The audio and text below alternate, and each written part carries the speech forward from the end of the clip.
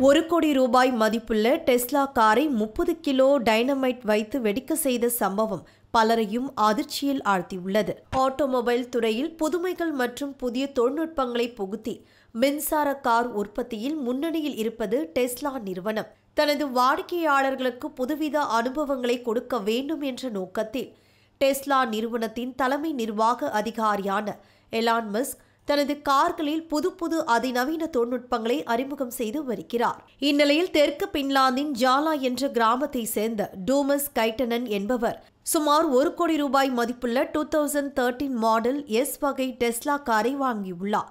டூமஸ் வகிப்பது பனிப்பிரதேசம் சூழ்ந்த இடம் என்பதால் இதுவரை சுமார் ஆயிரத்து ஐநூறு கிலோமீட்டர் தொலைவே அந்த காரை ஓட்டியுள்ளார்.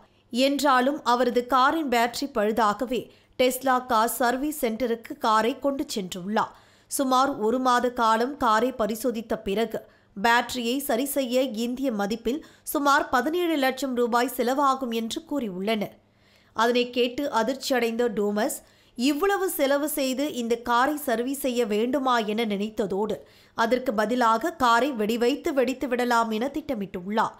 இதனையடுத்து தனது நண்பர்களின் உதவியுடன் சுமார் முப்பது கிலோ டைனமைட் வெடிபொருளை காரை சுற்றிலும் கட்டியதோடு ஹெலிகாப்டரிலிருந்து எலான் மஸ்க் உருவ பொம்மையை விழ வைத்துள்ளார் பின்னர் எலான் மஸ்கின் பொம்மையை காரின் ஓட்டுநர் இருக்கையில் அமர வைத்து வெடிக்க தீ வைத்துள்ளனர் சுக்கு நூறாக வெடித்து சிதறிய டெஸ்லா காரின் பாகங்களுடன் சேர்ந்து பனிப்பாறைகளும் சிதறி விழுந்தன.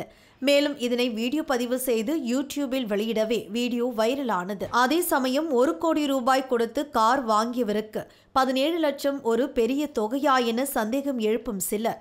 இவ்வளவு பெரிய கூட்டம் ஹெலிகாப்டர் வாடகை எலான் மஸ்க் உருவ பொம்மை பலவிதமான ஆங்கிள்களை படமாக்கிய கேமராக்கள் கார் வெடித்ததை கொண்டாடும் மனநிலை இவற்றையெல்லாம் பார்க்கும்போது எலான் மஸ்க் மற்றும் டெஸ்லா நிறுவனத்தின் மீதான தனிப்பட்ட வெறுப்பாலோ அல்லது பப்ளிசிட்டிக்காகவோ இத்தகைய செயலை செய்திருக்கலாம் என்றும் தெரிவிக்கின்றனர்.